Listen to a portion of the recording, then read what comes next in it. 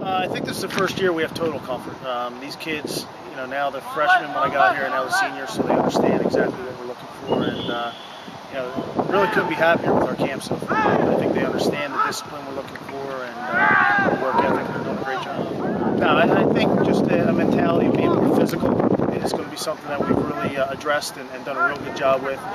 Um, you know, just and being more uh, mentally tough throughout games. A couple times we've gotten down in the past, and, and uh, mentally we were out of the game. And I don't think that'll happen this year. We have mentally tough kids. Uh, we're a lot more physical this year.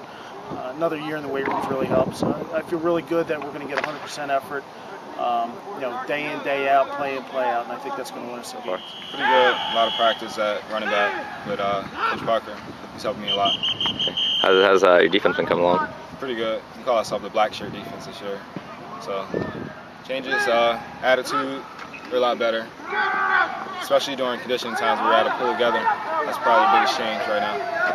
What do you think? Big plays, a lot of big plays on offense. Mm-hmm. On defense, a lot of running to the ball every play. That's one thing coaches harping on us about. What are you looking forward to most about season? Win.